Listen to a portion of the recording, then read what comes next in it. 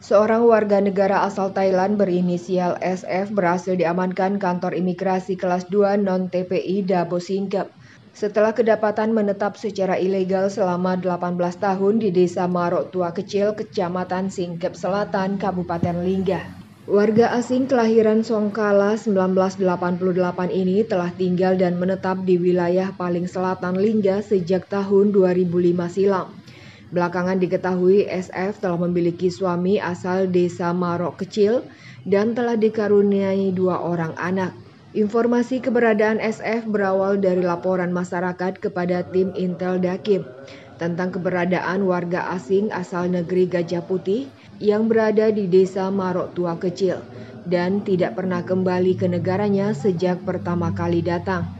Guna menghindari hal serupa, Kepala Kantor Imigrasi atau Kakanim kelas 2 non-TPI Dabo Singkep Yanto kembali mengajak masyarakat maupun stakeholder terkait untuk secara sinergis mengawasi keberadaan orang asing di wilayah masing-masing dan selanjutnya melapor ke kantor imigrasi Dabo Singkep.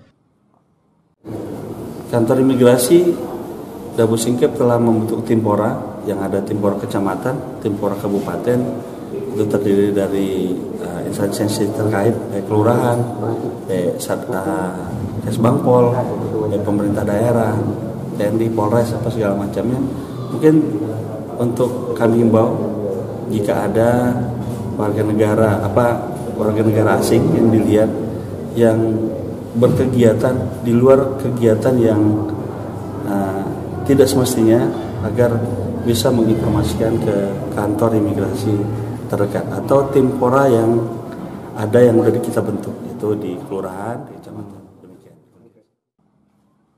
Lebih lanjut Yanto menerangkan bahwa deportasi terhadap SF sudah lama ingin dilakukan, namun dikarenakan adanya beberapa kendala membuat upaya deportasi tersebut baru bisa dilakukan sekarang.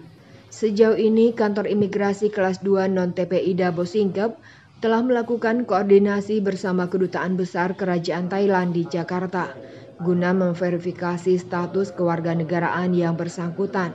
Setelah menerima konfirmasi dan kiriman emergency travel dokumen dari Kedutaan Thailand, yang bersangkutan akan segera dipulangkan ke negara Thailand.